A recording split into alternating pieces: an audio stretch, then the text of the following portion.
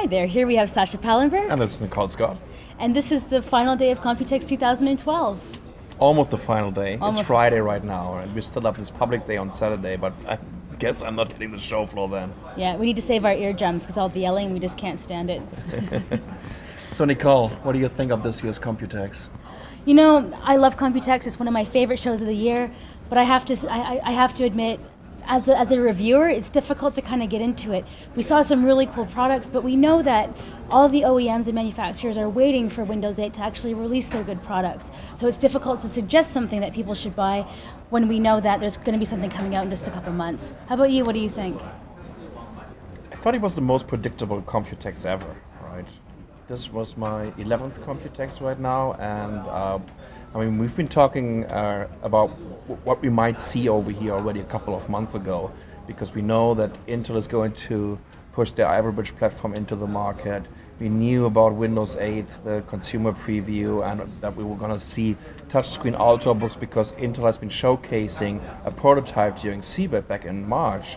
And um, we also knew that we're going to see some R ARM platform uh, running Windows RT, and therefore I thought it was kind of boring because even this new fancy schmancy ultrabook category kind of hits a limit where I can't see it really evolving anymore. Besides of having bigger and thicker and heavier ultrabooks right now, because we've seen a couple of ultrabooks over here that I wouldn't even call an ultrabook anymore. I'm The not Asus- getting it. The Asus S series, right? That, that's what you're, what you're referring to? The Asus S series, um, the Dell Inspiron 14Z, um, the Toshiba, this You- widescreen thingy. What is it, like U- two kilograms? Yeah, the the U845W. W. Yeah. Gee, that's ridiculous. Yeah. Maybe they're gonna call they're gonna they're gonna call an all-in-one PC an ultrabook in the future. I don't know. I think Intel really needs to take care of this because otherwise they're gonna create a lot of fragmentation in their uh, new product category.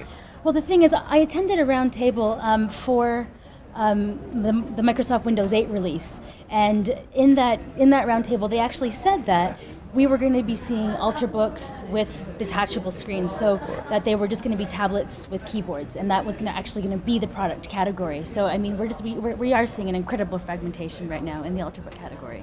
That's true. And besides that, um, in terms of real innovation, uh, once again we have to give, give some credit to ASUS, and these guys were the only ones to come up with a new design with this Taichi.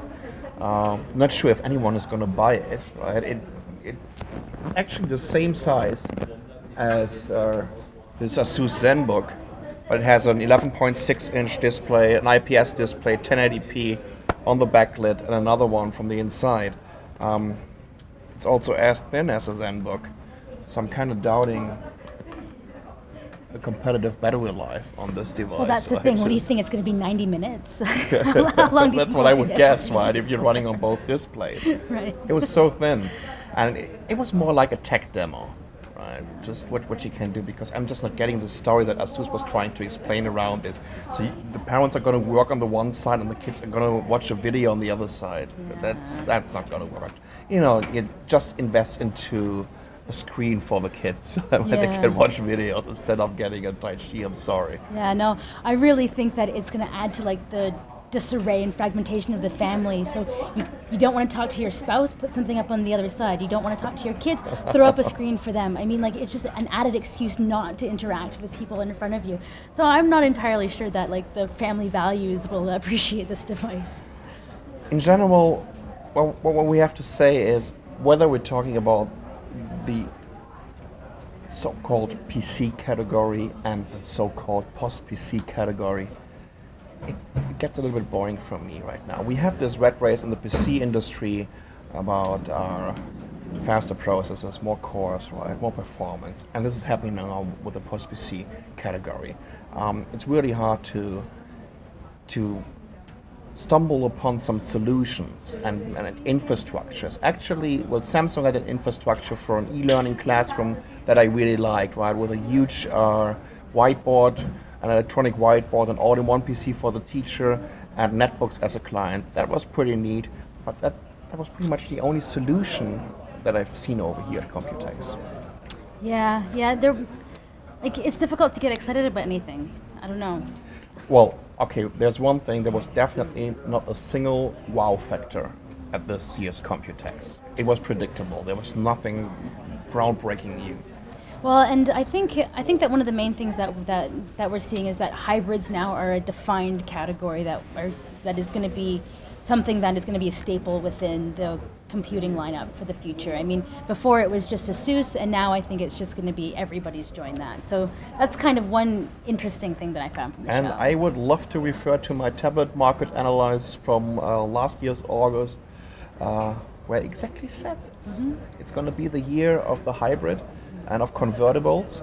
Um, that's what we're seeing right now. And then, of course, Microsoft built up a huge momentum over here, um, especially also with uh, the Windows RT versions that look really neat on a Snapdragon platform or on a Tegra 3. So I can't wait to get my hands on these devices. And you know, developers out there, you know, be prepared to uh, recompile all your applications and programs now for a RISC architecture. Good luck with that.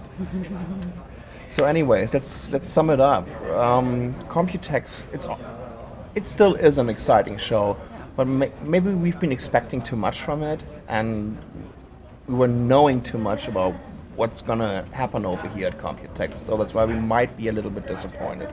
Well, and I also just think that like it's a you know it's it's a perfect storm of, of different circumstances where Windows 8 doesn't really have a firm release date.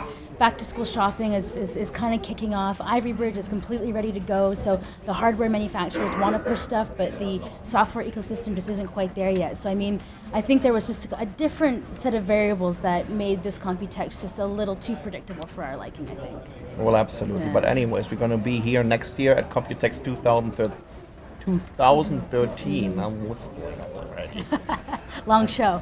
it was a long show, and this is about the 500th video that we did, at Some- least. something like that. well, anyways, this is Nicole Scott. Here we have Sascha Pallenberg. Thanks for watching.